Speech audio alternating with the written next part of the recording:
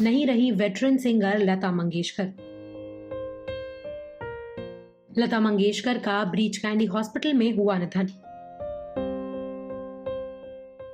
Well veteran singer Lata Mangeshkar बीते कुछ दिनों से मुंबई के ब्रीच कैंडी हॉस्पिटल में एडमिट थी। 92 year old Lata Mangeshkar pneumonia के चलते हॉस्पिटल में एडमिट थी। हालाँकि उन्हें बाद में कोविड 19 से भी डायग्नोस किया गया था। बीते काफ़ी दिनों से लता मंगेशकर वेंटिलेटर सपोर्ट पर थी। कुछ ही दिनों पहले उनकी तबियत में सुधार की खबरें भी आई थी। हालाँकि बीते दो दिनों से उनकी बिगड़ती हेल्थ की खबरें आ रही थी और आज लता मंगेशकर का मुंबई के ब्रीच कैंडी हॉस्पिटल में निधन हो चुका है।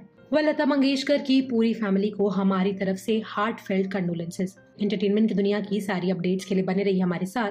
और हमारे चैनल को सब्सक्राइब करना ना भूलें।